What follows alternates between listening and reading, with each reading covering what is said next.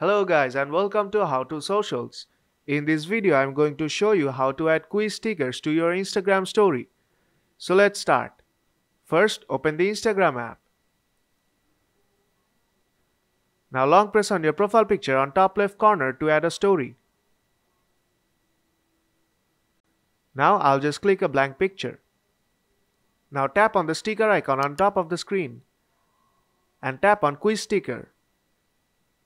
Now ask a question.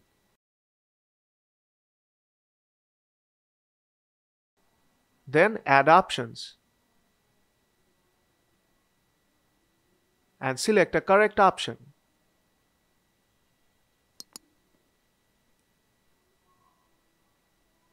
By tapping on the color ball at the top of the screen, you'll be able to change the color of the sticker.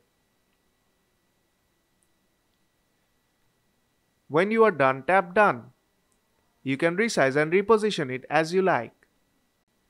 Now tap on Send to and then tap Share to post the story.